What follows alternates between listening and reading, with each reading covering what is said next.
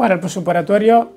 realmente dura muy poco. En caso de cateterismo diagnóstico, cuando no hemos tenido que hacer angioplastia, o quiere decir que no hemos puesto stent ni hemos dilatado la arteria, si es vía radial, si lo hacemos vía radial, normalmente en 3-4 horas se va el paciente para casa y no, hay ningún, no tiene que hacer ninguna cosa especial. El primer día, a lo mejor no, hacer esfuerzo con, eh, con, la mano donde hemos hecho el cateterismo, pero el día siguiente ya puede hacer una vida bastante normal y no tiene que hacer nada especial. Cuando es femoral, el cateterismo diagnóstico y lo hacemos por vía femoral tiene que darse en general una noche, si bien también en ocasiones podemos hacer un cierre con dispositivos especiales y puede ir el mismo día, pero en general se va en el día siguiente. Cuando es una angioplastia, en general siempre está en 24 horas, pues su operatorio dura 24 horas, las primeras 4 horas el paciente en general está monitorizado, se le mira el electrocardiograma, la presión arterial, que si tiene dolor, si tiene cualquier problema. Después de esas 4 horas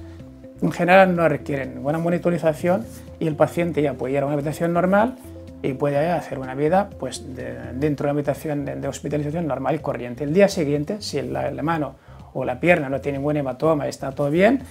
el paciente ya se puede ir a casa y puede ya incorporarse a la vida normal de una manera progresiva dependiendo de la situación clínica del paciente previa al cateterismo. Por ejemplo, un paciente que viene por una angina de pecho normalmente ya puede empezar a hacer una vida normal enseguida. Si un paciente se le hace angioplastia después de un infarto, pues evidentemente tiene que haber una recuperación más de 3-4 semanas y hacer una vida activa progresivamente, dado que un infarto requiere al corazón